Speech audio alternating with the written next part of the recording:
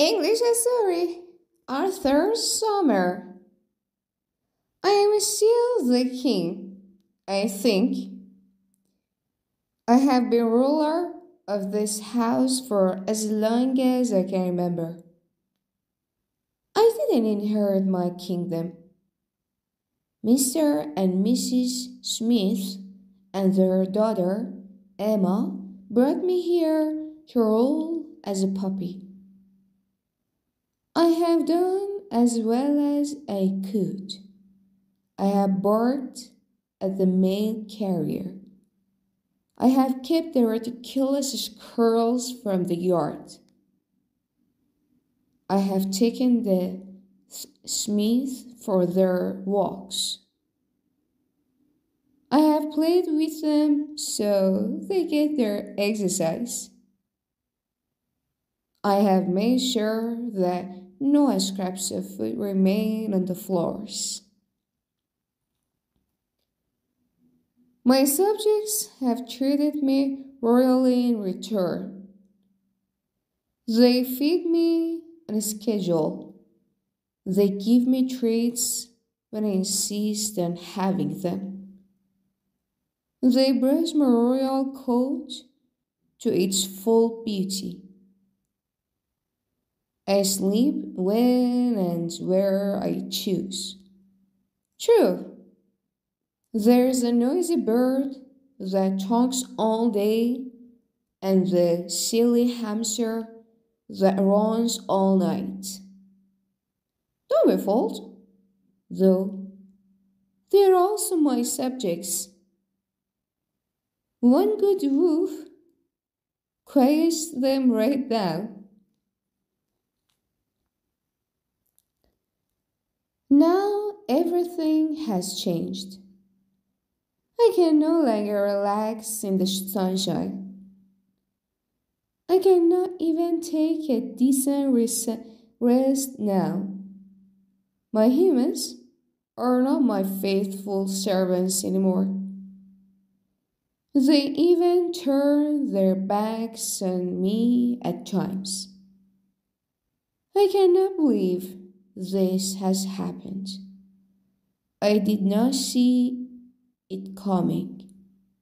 I was not prepared. It began on a June morning. The humans, having done their duty in preparing my food, got into the large rolling thing.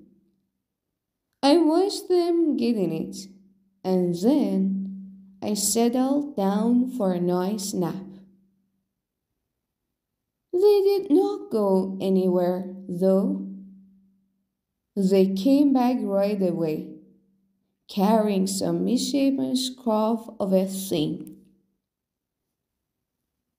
Poor little kitty, Emma said. It must have been so frightened when it was trapped up inside the car's motor. It's a good thing we heard it before I started the car, said father.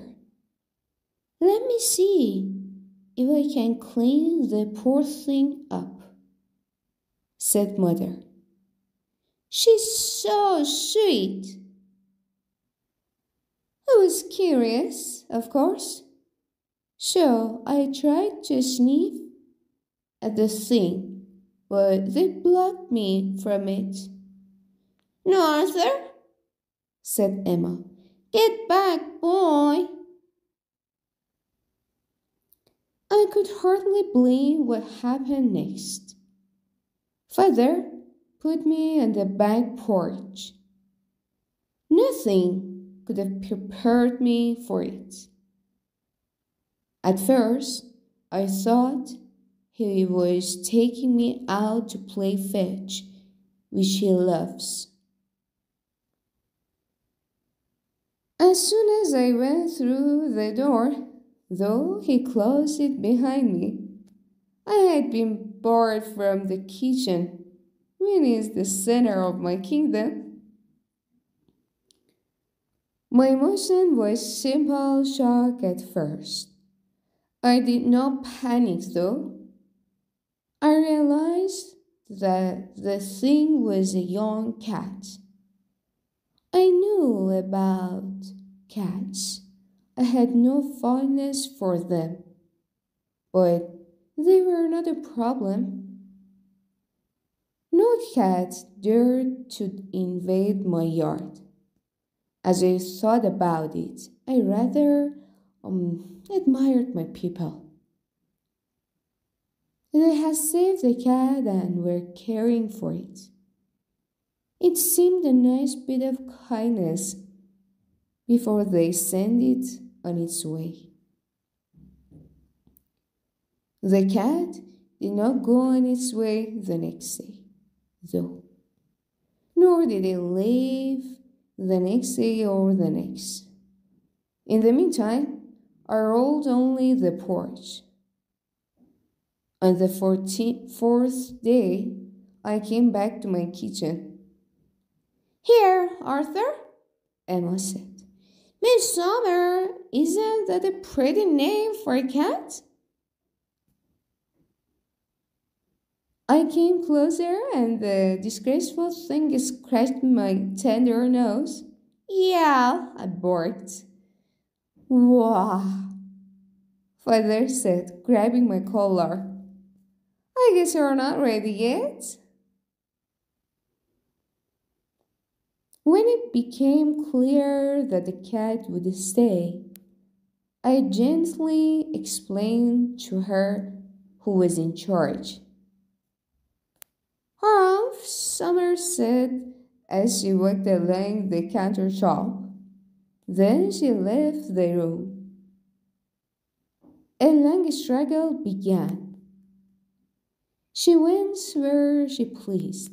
She went in things, on things, and over things. I could not control her. She warmed the humans' laps at night. They petted her while watching the love picture box.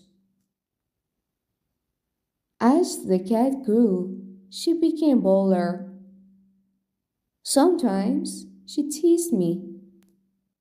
She was quick, and I could not catch her.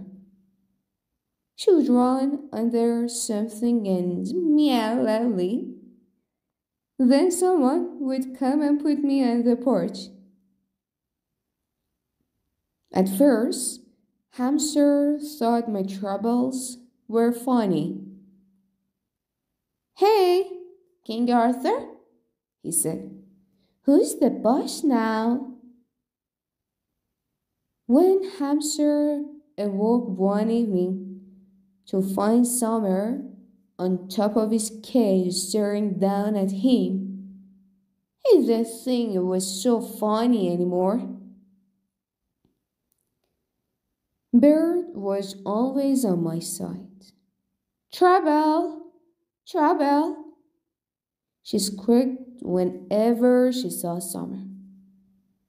The cat just looked at her with a smile. That cat was not stupid. When the family went out, she disappeared. I never knew where she went. I just do whatever I please, she told me one day. If you don't bother me, I won't bother you. I said, Bother you? She said, I hardly think about you at all. The cat and I have reached an, an uneasy truce. She's part of the family now but I don't know why. She doesn't take the Smith for walks. She doesn't care about the noisy mail carrier. She sleeps on furniture. Neither hamster nor bird trusts her.